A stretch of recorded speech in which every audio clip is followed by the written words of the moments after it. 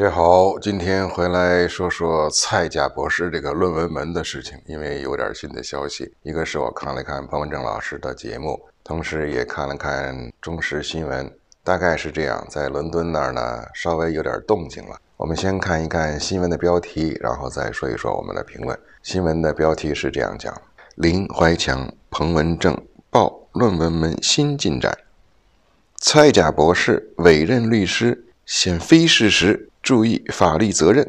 对于林环强与彭文正二十二日在脸书指控英国行政法庭认定 LSE 提供不实资料给台湾法务部一事，蔡甲博士的委任律师连元龙和张日昌二十三日发澄清声明，指出林怀强与彭文正言论显非事实，并聘请传播不实信息者应注意法律责任。澄清声明表示。英国初级法院于二零二二年六月二十日所作成之判决内容，并无任何指称蔡甲博士有串通 LSE 内部人员或提供伪证之事，正经关不了。林怀强与彭文正脸书发布之言论显非事实，请传播不实信息者应注意法律责任。好，这个事情呢，起源于就是二十号啊。英国的一个法院又来了，这个事情呢还没有完。一个最主要的一个功臣呢，就是这个 Michael。这个 Michael 他一直在囊，他一直不放弃，这个是非常重要的一个环节。有点像当年那个水门事件那个事情啊，就是有两个记者一直在囊，整个社会舆论都给你盖了，都给你压下去了，不行，他就一直在囊囊囊囊，最后把那个水门事件给囊出来了。所以，在这个蔡甲博士这个案子当中呢，英国那个地方，他们不怕这帮台湾人，他们现在很惧怕这个 Michael。这个 Michael 呢，他就一直在走你给我的法律程序。但是呢，你看这个攻防啊，可以看得出来，整个大英帝国所有的机关，不管是大学也好，咨询委员会也好，包括前面的法庭也好。大家都跟你玩云山雾罩，哎呦，这个不行，那个不行，绕来绕去，绕来绕去，其实就是一个非常简单的事情。有这个人拿着你英国伦敦大学的毕业证书，说你是博士，而我们认为这个可能是假的，请你大学认证一下，这个是真是假。这么简单的事情，就是不给你认证，绕来绕去，拐来拐去，又是什么？口试啦，歪娃啦，什么论文啦，又妇女杂志了，又你看看，这么长时间来，整个不管是大英帝国的人，伦敦政经大学的人，这些人他大脑缺氧吗？他不知道验证一个学位是非常简单的事情吗？就是你学校说一句话，这证书是你发的吗？他在你那上学了，他这个答辩那个论文在哪儿呢？到今天，全世界找不到蔡甲博士那个真正的论文，除了他家里那叠马粪纸一样的黄黢黢的，都已经和水都泡了，扫描以后放在什么台湾的国家国立图书馆里边。除了那堆马粪纸，在伦敦整个这个大英帝国里边，图书馆里边没人知道蔡甲博士论文在什么地方。你要没有，你就说没有，他不说。他就说：“哎呀，这个不能公开，那个不能公开，这个隐私，那个隐私。哎呦，这个痛苦，那个痛苦，拽拽来拽去呢，还道貌岸然的，还有西服革履，又法庭律师什么的。你看看我们文明社会，给你讲你，给你讲啊，闹了半天，到今天还在拽呢。其实还在拽，因为这个东西你造假呀，你纸啊包不住火啊，你能包一段时间？有这么一个 Michael 到处囊你，反正我得囊你。”你这么多法官，这么多的机构，有本事你全都一起来掩盖，掩盖。你在你说谎的时候，大英英国人脸上是不是也得带挂点颜色呀？他知道他在撒谎，但是他们撒谎已经脸不变色心不跳了。但是有没有一个法官脸要变色心要跳一点呢？看看我这是在撒谎了，我这这是撒吗？继续撒。所以这个骗子呀。在这个世界上啊，横行天下。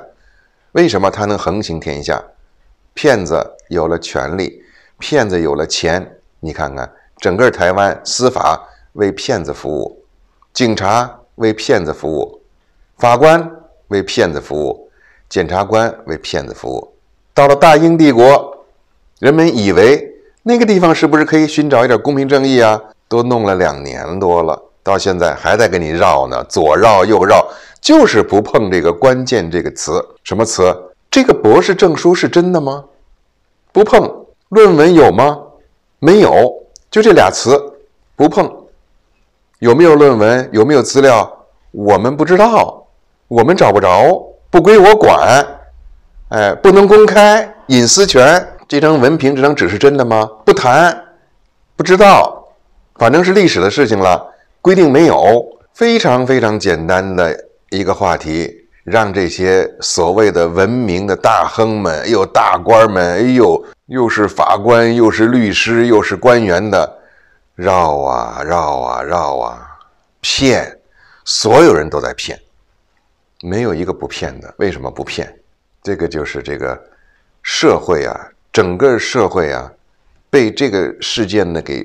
扎了一刀，这一刀告诉大家，这里全是骗子。英国政府里边就没有人知道，英国伦敦大学的没有人知道，蔡甲博士根本就没有学位。有没有人知道呢？凡是看过这些案件的人，大脑不缺氧的人，智商还正常的人，没有人认为这是一个真的博士。为什么人人都知道这是一个假博士，而人人都要护航呢？这个就是他们的伦理道德了。他们的伦理道德不是说实话至上，是骗来以后为我们的利益至上。这个就是他们的伦理道德。我今天骗了你了，我把这个假博士扶在那儿了。这个假博士对我们这块是不是有利啊？有利。买武器买吗？买。要钱给钱，有钱。但是如果帮了你彭文正了，帮了你 Michael 了，你给多少钱呢？你狗屁不是也不给吗？我干嘛要帮助你呢？但是呢，话还是又不是这么说，他才不会这么说呢，他才不承认呢。利益至上，假的仁义道德又往那一坐，我们是公平伦理道德的最后防线，我们来审查审判一下，判的全是错的。他的法官的水平那么低，上了都给判错了？不是，他就是故意判错的，就是故意不想让你赢。就是要保护这个骗子，就是要保护这个假博士，就是要保护这个犯罪集团。为什么？这个犯罪集团控制了一笔巨大的资金，在全世界的外汇储备居全世界第四。这个假骗子，这个假博士，能够在意识形态领域里边帮助西方社会去囊中共。他认为有这个功能。这种情况下，我们得保护起来我们的人，骗不叫事儿。只要听我的话呢，你随便骗，就跟蔡甲博士这个石斑鱼似的。蔡甲博士这个政府知不知道这些石斑鱼运往大陆的有大量的伪劣产品，不是那个本厂生产的，知不知道呢？你知道。但是输往大陆随便，你指望大陆人吃了，大陆人吃了这些臭鱼、这些病鱼，与我无关。只要把钱搂过来就完事儿，他们都知道。我不认为他们不知道，既然知道，为什么不查？为什么不管呢？这个就是利益，只讲究利益，绝不讲究道德。在这个地球上，谁讲究道德，那谁是傻子。利益至上，金钱至上，主导了现在当今这个地球。你只要为了钱不择手段，哎，你一定成功。你为了钱。但是你还想不做亏心事情，你保证发不了财，你保证是那个穷光蛋。所以，不管是伦敦政经大学也好，还是什么咨询委员会也好，还是伦敦什么什么法院也好，这些人他们在就一个案子来审判的依据是什么呢？我们的利益在哪儿？如果我们在这个地方没有利益，我们不会判你赢。但是呢，由于他说假话呢。他也得有点水平，这个假东西啊，中国有土话吗？一个谎要用十个来圆，十个谎要用一百个来圆。现在这谎呢，已经圆圆圆，这个圈啊，已经何止一百个了，再往得一千个。有一个地方漏了，你就得补。这个 Michael 呢，这根针呢，就老在扎你。你补完这儿了，你那儿漏了，你那儿漏了，我那儿老扎你，扎扎扎到最后，差不多，他们等看看蔡甲博士也快下台了，他这个事情呢一定要给他拖，拖到蔡甲博士下台。当蔡甲博士下台，这个人对他们的利益已经开始没有作用的情况下，已经没有意义了，就是你这个人已经没有价值的情况下，那个时候差不多我就可以给你曝光出来了。这时候呢，不伤害我的利益，蔡甲博士还能坚持一年多，在英国这边呢，还是会给你绕绕弯弯绕绕到最后。如果像彭文正也好，Michael 也好，林怀强也好，包括贺德芬也好。他们就始终这么囊着，最终有可能能囊出来，但是这个时间呢，时间表呢是由他们控制的。他们觉得你有价值，我就永远不会让你暴露。只要你对我有利，我就永远保护你。在保护你的过程当中，这边就是又骗又绕，绕来绕去，把时间一直给你拖拖拖拖拖下去。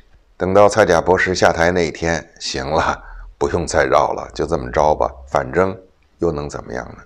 所以这个事情呢，呢走到今天呢，你去看看，这么个破事儿，哎呦，折腾，大英帝国折腾，所有的人瞒天过海，满嘴瞎话，在里边给你骗来骗去，骗完东骗西，骗完西骗东，拆东墙补西墙。满口仁义道德，这些人其实都透着一个撒谎的内心。谁让他们撒谎？利益驱动他们撒谎。谁让他们保护这些骗子？利益在后边顶着。这个戏呢，就是我们再保持观看吧。还好，在这个论文门这个事情里面呢，还有一个 Michael 一直在走司法程序，还有一个彭文正一直在说，还有一个林怀强。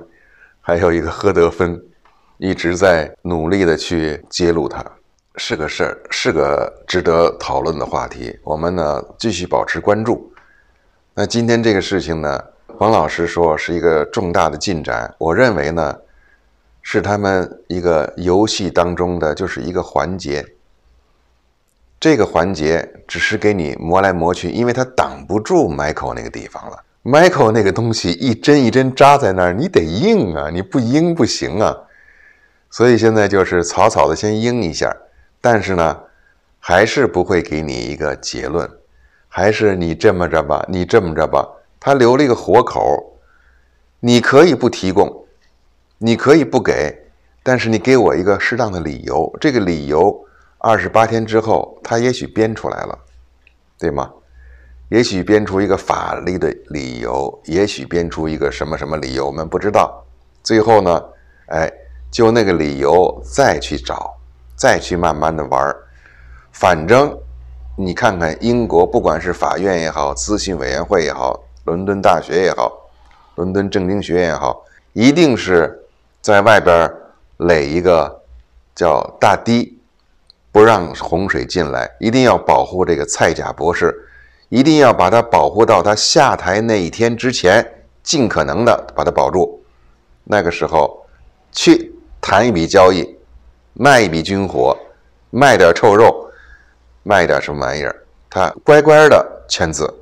就在这个时候，随便不管英也好，美也好，什么代表团也好，到台湾，哎，签一笔单子。嗯，我们那边还在研究过程当中呢，还在。还还在玩呢，还在玩这太极拳呢，跟 Michael 那打太极拳呢。这边你给我赶紧签字，蔡家博士乖极了，保证签，一定是这样。你看看最近有没有什么单子在走，他们是一起的。所以呢，蔡家博士现在还有利用价值，就先给他保着。等有一天实在没有利用价值了，行了，你就这么着吧。这个是我的见解。这个话题呢，我们还是继续保持关注。还是比较佩服 Michael、彭文正、林怀强、何德芬老师，他们还在努力当中，这样的精神呢，我还是比较钦佩的。我们表示支持。好，以上是我们的观点，谢谢大家关注，我们下期节目再见。